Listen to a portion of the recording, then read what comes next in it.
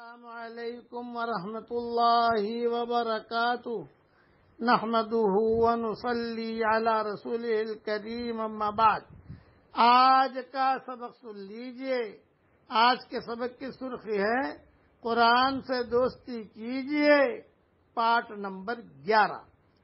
قرآن پاک کی تلاوت محض طلب ہدایت کے لیے کیجیے.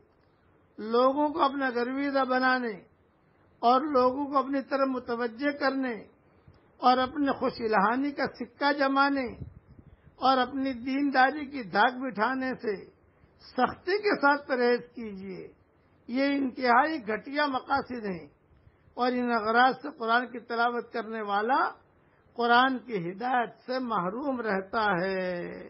لوگوں کو دکھانے کے لیے نہ پڑھیے اللہ کے لیے پڑھیے تلاوت سے پہلے طہارت اور نظافت کا پورا اہتمام کیجیے بغیر وضو، قرآن مجید چھونے سے پرہیز کیجیے اور پاک، صاف جگہ پر بیٹھ کر تلاوت کیجیے تلاوت کے وقت قبلہ رخ، دو زانو ہو کر بیٹھیے اور گردن جھکا کر انتہائی توجہ، یکسوئی، دل کی آمادگی اور سلیقے سے تلاوت کیجیے اللہ جل جلال امن والوں کا ارشاد ہے کتاب انزلناه الیک مبارک الیک مبارک لیدبروا آیاتی ولیتذکر اولو الالباب۔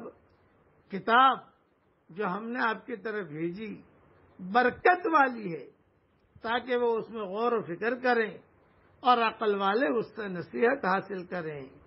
تجوید اور ترتیل کا بھی جہاں تک ہو سکے لحاظ رکھیے، حروف ٹھیک ٹھیک ادا کیجیے اور ٹھہر ٹھہر کر پڑھیے۔ رسول اللہ صلی اللہ علیہ وسلم کا ارشاد ہے، اپنی آواز اور اپنے لہجے سے قرآن کو آراستہ کرو۔ یہ حدیث ابو داود میں ہے۔ اللہ تعالی ہم سب کو عمل کرنے کی توفیق عطا فرمائے۔ آمين.